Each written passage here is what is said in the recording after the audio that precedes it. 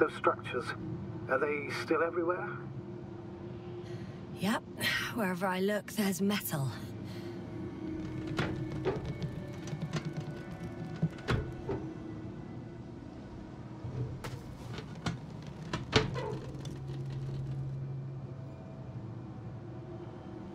Oh, don't be angry.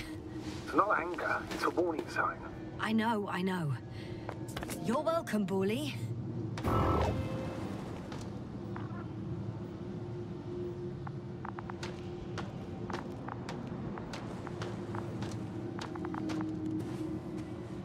Hello, and welcome back to the Invincible.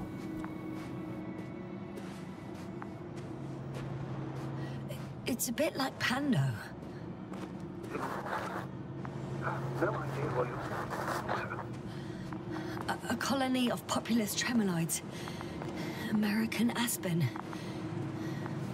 The new trees grow not from seeds, but from root suckers of old trees. As a result, it's one giant organism, thousands of years old. So you're in a dead metal forest. Huh, that does sound bizarre. Though maybe. Doctor, something has been recorded after all. But there are plenty of errors in the transmission header. It's hard to say whether this is a message from Gorski. Well then, sir, play it. Maybe we'll finally find out what's going on with the doctor. Let's hope so. Gorski to base.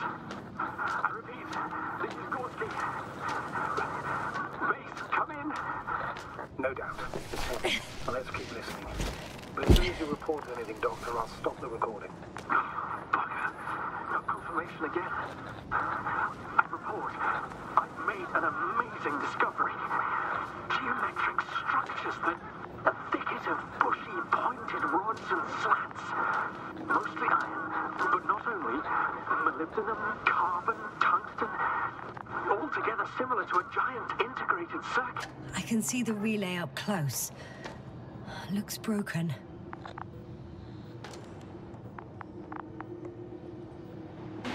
Such damage could be caused by a local meteorological phenomenon. A severe thunderstorm with litho and electrometeors. So, the weather is to blame for all of it. Well, I can't think of a better explanation at the moment.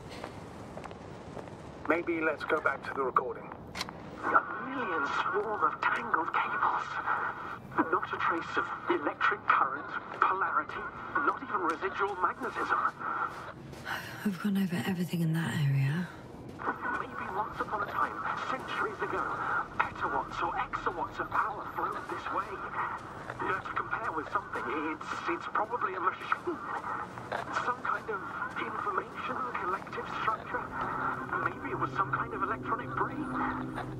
It makes me think of the Lyrans. A race of extinct sentient beings. Supposedly, they knew about light astrogation before we invented the wheel. There are more traces. This time handprints. And a drop detector. What? Did I hear you right? Yes, sir. You heard me right. As if he fell and then crawled on all fours. Bloodstains? No. Luckily, nothing like that. No one of sound mind would decide to go down this way. I found something. Again. Me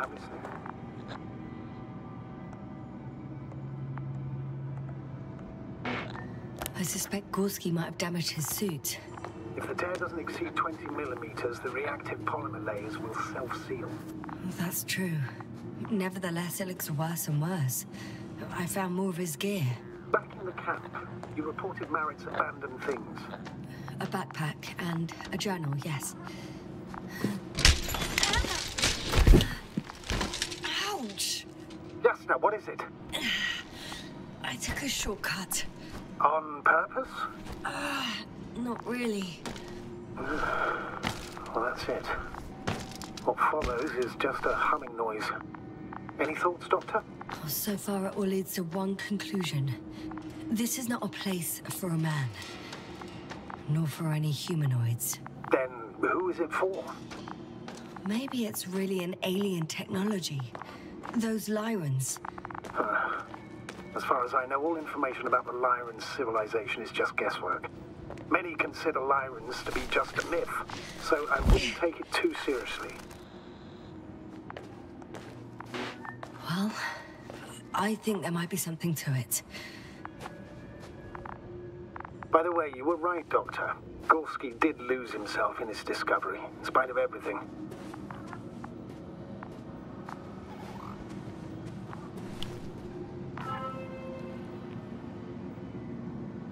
Finally!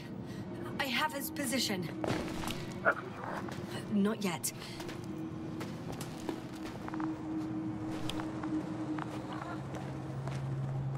Gorski, are you here? It's me, Yasna. Still not? Yeah. I found his backpack. You know what that means, sir? Yes, he's without oxygen. Oh, there he is. I see him. He's lying in a sinkhole. Doctor, answer me, please.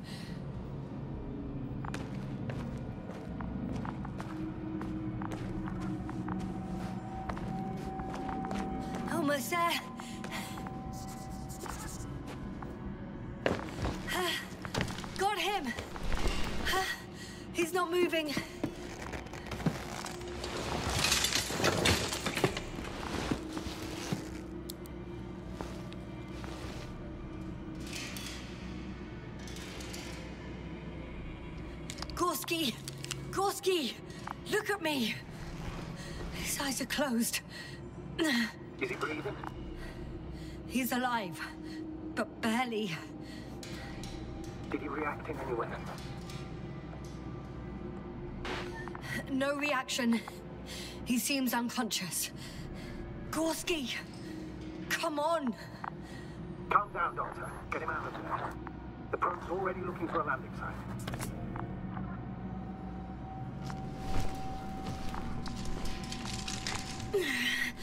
Okay. Let me just. Uh, I'm, I'm pulling him uh, out. Done. He's out. I activated his SOS. You should pick up a transmission with his parameters, sir. Well? No, nothing. The transmitter in the suit must be too weak. Should I retrieve his booster from the backpack? Uh, no point. Better to set up a relay. We have to do it anyway so that Hopper can land in this maze. Have a preliminary scan of your surroundings. There's an open area nearby. You have to move Gorski there. The probe will guide you. But he's not stable. I must share my oxygen with him, Astrogator. You'd need a spare for that. The protocol doesn't provide for connecting two suits at the same time. In that case, I'll give him my tank. Negative. I won't allow it. If you faint, the doctor won't carry you.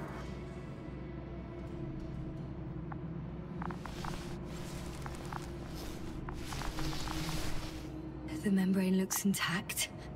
What did you say? I'm sitting here. Hold on, Gorski. I still can't hear you, Doctor. Please repeat. Don't be angry, sir. But But what? Please go ahead. after after careful consideration, I gave Gorski my tank. We still don't know when you'll send the lander, so I, I can't leave him without oxygen. Doctor, I explicitly told you not to. Let's hope Artie can finish the job if you're both unconscious.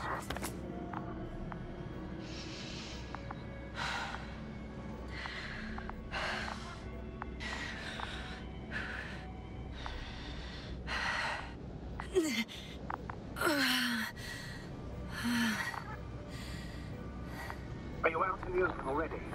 Sort of. Yes set up the transmitter, I should start receiving Gorski's signal.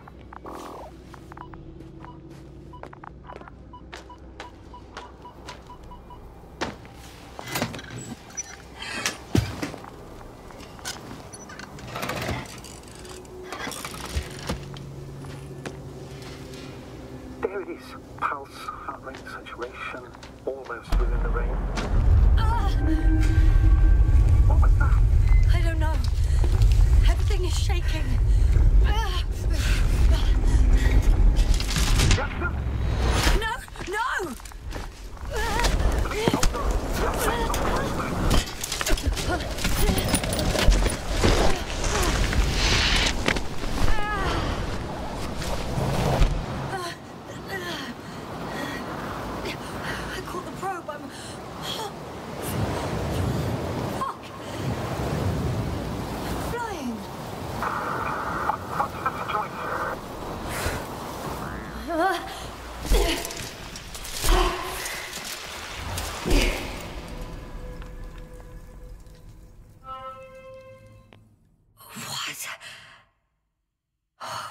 Was that?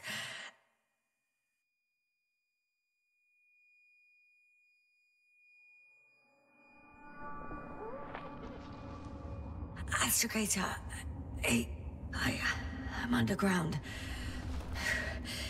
It's hard to determine my exact location. Novik, do you copy?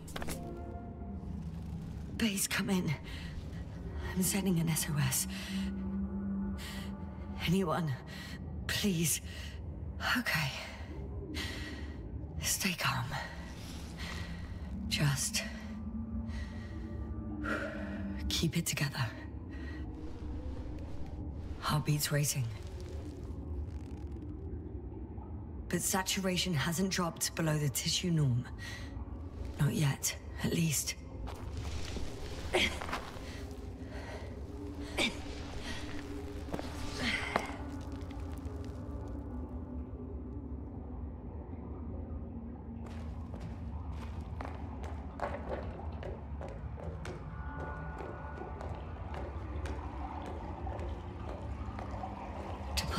Water.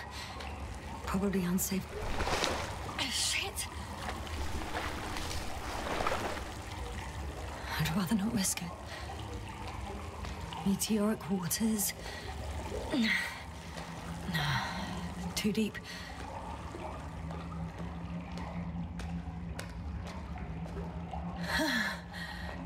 Slippery terrain. Poor visibility. Considering all factors, situation hopeless. At least I got flares. Oh, come on. Ah, Gotta be kidding me.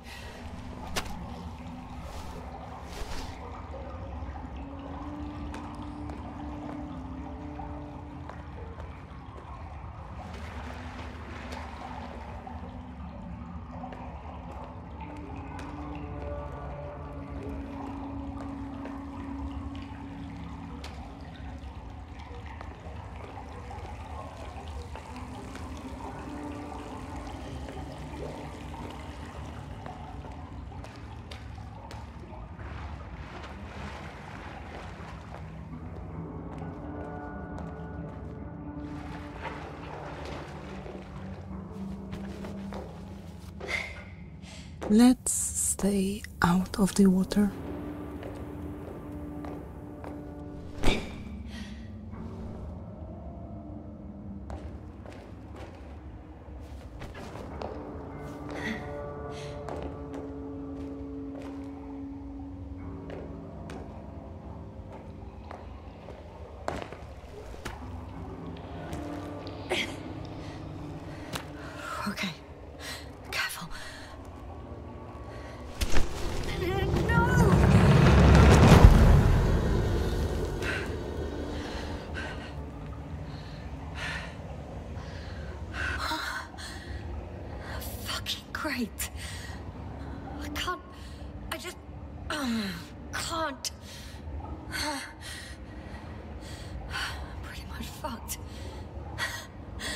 That's my considered opinion. Fucked.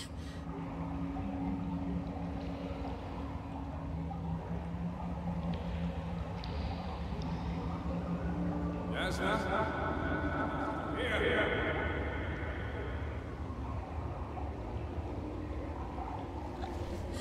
Who's that? I can't see. Krauter. Is that you? You were supposed to... Doctor? Why won't you answer me?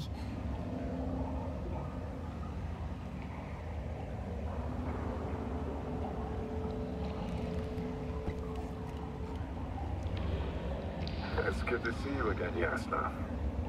Unfortunately, there is no time for pleasantries. We need to get out of here now.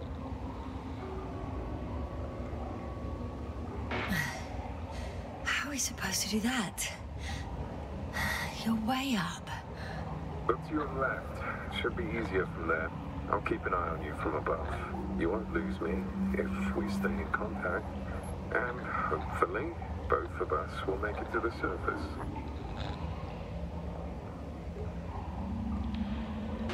I'm not going anywhere until you explain how you found me. Then, I guess you'll die. Because I refuse to waste time on explanations.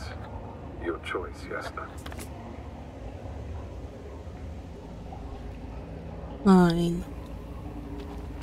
Asshole.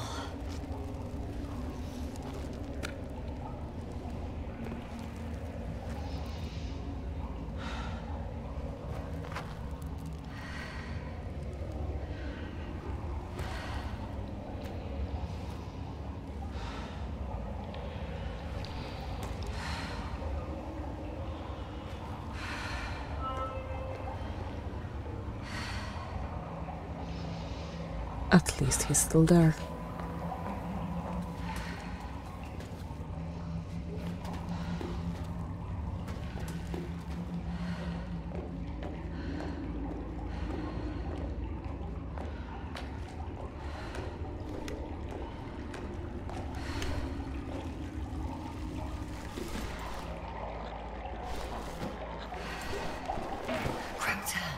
Say something.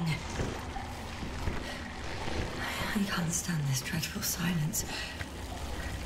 Silence is harmless. You shouldn't be afraid of it. Unlike other things, And what should I be afraid of? dehydration, hypoxia, methane poisoning, the list is quite long. Oh, what were you thinking, really? I warned you against opening your helmets, let alone giving all your oxygen to a dead man. A complete failure of reason in the act of futile heroism. Gorski isn't dead. That's why I left him my damn tank. Might as well be. Do you really think giving him oxygen was enough? Something attacked you up there. Odds are, it got Gorski as well. We'll check and come back for him. Novik should be monitoring his parameters after all. Yeah, about that. You shouldn't trust everything the old man says. He only tells us what he sees fit. Huh? What do you mean? Doesn't matter now. Let's focus on getting out of this maze. Is your equipment operational? Nothing damaged? I think so.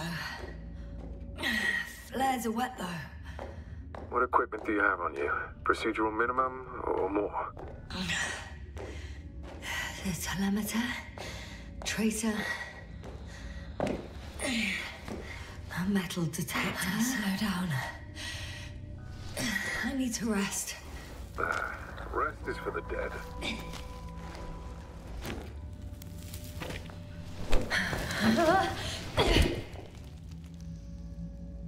I've had enough. Just enough. Forward, Yasna. Faster, Yasna. We're racing against time, Yasna. We're constantly fighting for life, Yasna. Enough of this nonsense. I don't want to fight anymore. I, I don't want to fight. All right, Yasna. Have it your way. What? A moment ago, you were forcing me to struggle on. But now you'll let me die. Just like that. Not just like that. You did everything you could. But even that wasn't enough. You have the right to finally give up. No. No, not over. I haven't given up yet. Can you walk? Yeah, probably. I just need to catch my breath.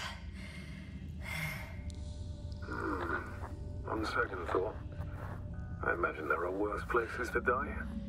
It's rather peaceful, actually. Just close your eyes and let yourself go. Fall asleep. Okay, End the suffering. I'm getting up. Turns out I prefer to live than let you talk me to death.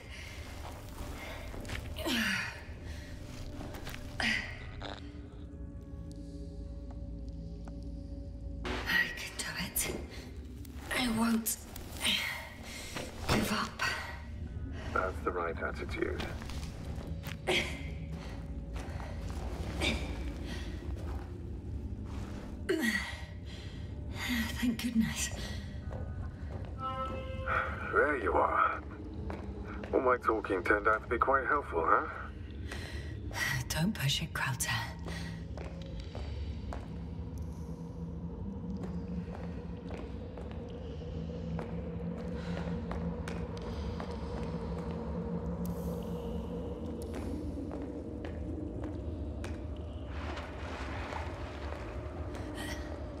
Do you see this? Well, if you're talking about the coal deposits and the bones of prehistoric reptiles, then yes, they're further up as well. Finally, we have proof. There was life on the land. After all, millions of years ago. Uh, is it really such good news? Because now, not even bacteria or viruses.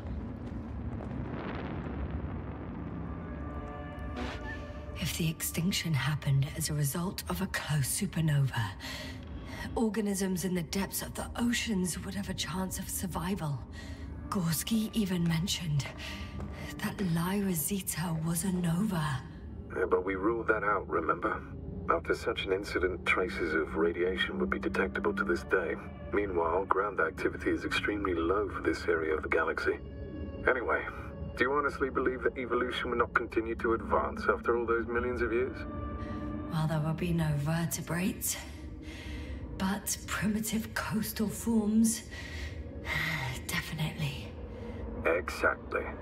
Yet someone or something is preventing them from moving ashore. Even more skeletons. Annoyingly now, there are no comms. Nobody will know of this discovery if we get stuck here. Relax. The old man will send another expedition, and they will find those bones, along with us. Thanks. For a moment there, I forgot how screwed I was. Good that you reminded me. Maybe your situation would be better if you didn't stop to admire the fossils. Now you sound like Novik. Touche. You know a lot, Krauter. About what happened to me.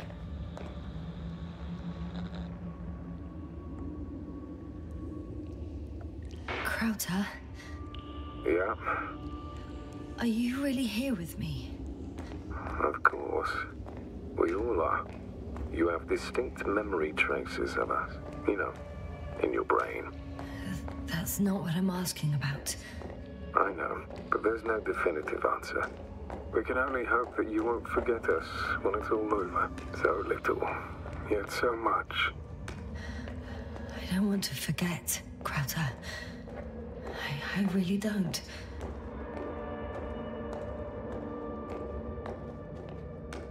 Come.